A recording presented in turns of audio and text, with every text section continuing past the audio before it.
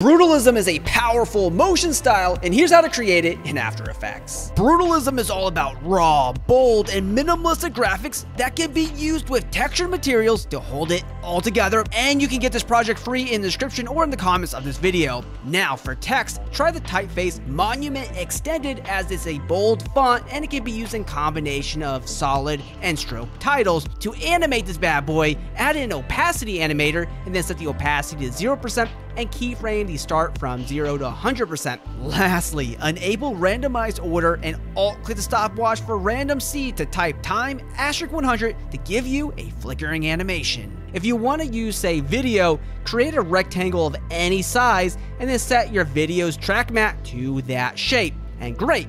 To make your conformity seem imperfect, try adding plastic and tape images to your project and strategically place the graphics to have some purpose. For instance, use the tape to hold the plastic to your background.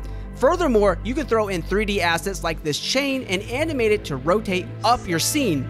And when you're using 3D, be sure to create an environment light with shadows checked so that the 3D actually looks amazing, just like this brutalistic design. And absolutely bang out your edits with our free 200 templates and brutalistic motion graphics pack, transitions, and so much more with the link on this video.